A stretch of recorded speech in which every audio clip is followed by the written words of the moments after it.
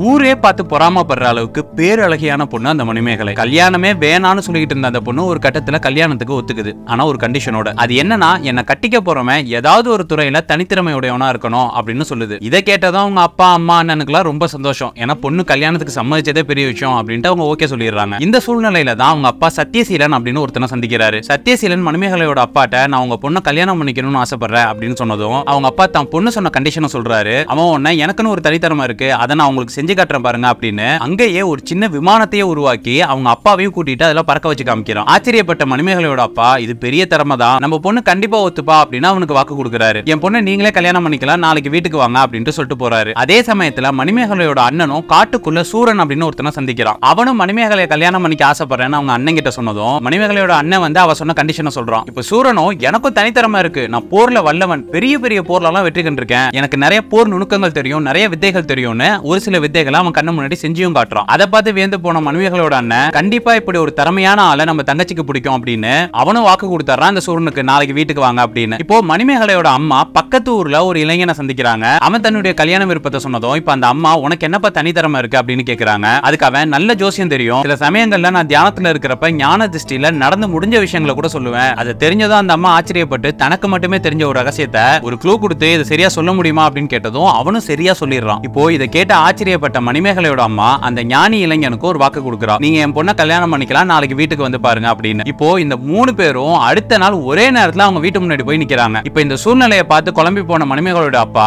அவங்க மூணு பேர்ட்டையும் சொல்றாரு நீங்க மூணு பேரும் தப்பா எடுத்துக்காதீங்க. என் பொண்ணு கூப்பிடுறேன் அவளே இந்த முடிவு எடுக்கட்டும். அதுக்கு நீங்க ஒத்துழைக்கணும் அப்படின்னு சொன்னதும் அந்த மூணு பேரும் சம்மதிக்கிறாங்க. இப்போ உள்ள போய் பார்த்தா அந்த பொண்ணு காணும். பதறி போன எல்லாரும் எங்கெல்லாமோ அந்த பொண்ணை போய் தேடுறாங்க அந்த பொண்ணு கிடைக்கல. இப்போ அந்த ஞானி நான் என்னுடைய வித்தையில நான் கண்டுபிடிச்சு சொல்றேன் அப்படின்னு அவன் தன்னுடைய தனித்திறமையினால அந்த பொண்ணு இருக்கிற இடத்த கண்டுபிடிச்சு சொல்றான். உங்க பொண்ணை மகாசுரன் தூக்கிட்டு போயிட்டான் அப்படின்னு சொல்றான். சொன்னதும் அவங்க அப்பா அதிர்ச்சி ஆகுறாரு. ஏன்னா இந்த மகாசுரன் பேரை கேட்டாலே சுத்தி இருக்கிற பேரரசர்கள் கூட அஞ்சு நடுங்குவாங்க. அவன் கூட மோதின யாரும் உயிரோட திரும்பினதில்ல. அந்த அளவுக்கு மோசமான இருக்கேன் இப்போ மணிமேகலையோட அண்ணன் அவன் இருக்கிற இடமும் இங்க இருந்து மூணு மலை தாண்டி இருக்கேன் என்ன பண்றது? அப்படின்னதும் அப்போ சத்தியசீலன் நான் உருவாக்குன விமானம் இருக்கு. அது மூலமா அந்த மலையை கடந்து அந்த இடத்துக்கு போயிடலாம் அப்படின்னு சொன்னதும் இப்போ அந்த சூரன் வா அந்த அரக்கனை நான் ஒரு கை பாக்குறேன் அப்படின்னு சொல்லி அந்த ரெண்டு பேரும் விமானத்துல போறாங்க. இப்போ சத்தியசீலன் விமானம் ஓட்டிட்டு இருக்கும் போதே சூரன் கரெக்டா அந்த அரக்கன் இருக்கிற இடத்துல குதிக்கிறான். அரக்கன் இருக்கிற இடத்த நோக்கி குதிச்சு உள்ள போய் எல்லார் கூடவும் சண்டை போட்டு அந்த அரக்கனையும் ஜெயிச்சு அந்த பொண்ணு கூட்டிட்டு வந்துடுறான். இப்ப வீட்டுக்கு வந்ததும் மறுபடியும் அந்த மூணு பேருக்குள்ள சண்டை. நான் என்னுடைய தனித்திறமையினால அந்த பொண்ணு எங்க இருக்கு அப்படின்னு சொன்னதுனால தான் நீங்க அந்த பொண்ணை காப்பாத்துனீங்க. அதனால அந்த பொண்ணு எனக்கு தான் அப்படின்னு ஞானியும் நான் விமானத்தை உருவாக்கி கூட்டிட்டு போனதுனால தான் அந்த பொண்ணை காப்பாத்த முடிஞ்சிச்சு. அதனால அந்த பொண்ணு எனக்கு தான் அப்படின்னு சத்தியசீலனும் நான் தான் அந்த அரக்கனோட போராடி சண்டை போட்டு அந்த பொண்ணை மீட்டு கூட்டிட்டு வந்தேன். அதனால அந்த பொண்ணு எனக்கு தான் அப்படின்னு சூரனும் போட்டி போடுறாங்க. இப்போ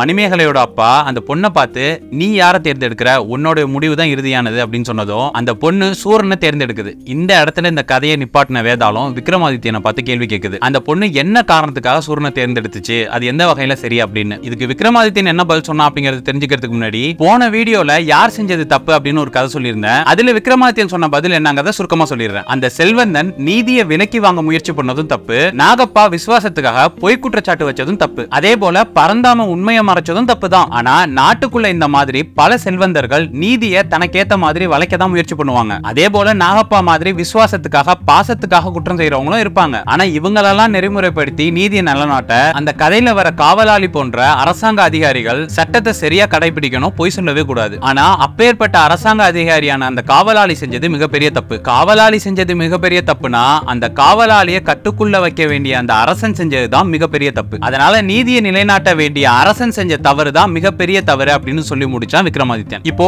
இந்த கதைக்கு விக்ரமாதித்யன் சொன்ன பதில் அந்த சூரனை அந்த பொண்ணு தேர்ந்தெடுக்க காரணம் சத்தியசீலனும் ஞானியும் செஞ்ச உதவி யாரும் யாருக்கு வேணாலும் செய்யக்கூடிய உதவி தான் ஆனா சூரன் அந்த பொண்ணோட உயிரை தான் உயிரை நினைச்சு தான் உயிரையும் பணையம் வச்சு அந்த கொடூரமான அரக்கனோட நேருக்கு நேர் மோதினான். இப்படி தனக்காக உயிரையே கொடுக்க துணிஞ்சதுனால தான் அந்த பொண்ணு சூரனை தேர்ந்தெடுத்துச்சு அப்படின்னு விக்ரமாதித்யன் சொல்லி முடிச்சிருக்கான். இந்த கதை உங்களுக்கு பிடிச்சிருந்தா லைக் பண்ணுங்க. அடுத்து இன்னொரு கதையில சந்திப்போம்.